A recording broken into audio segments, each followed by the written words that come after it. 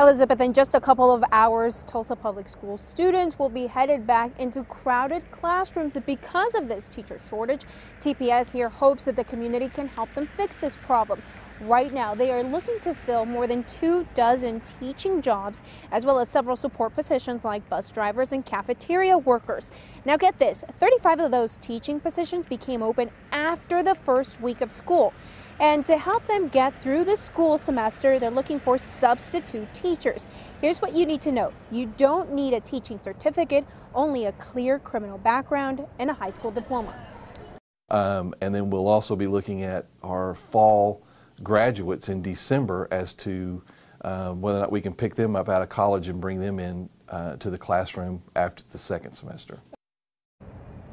And pay for a first-time teacher with a bachelor's degree begins at just under $33,000 a year. To see a complete list of job openings with TPS, go to their website, tulsapublicschools.org. Live in Midtown, Patricia Santos, 2 News works for you.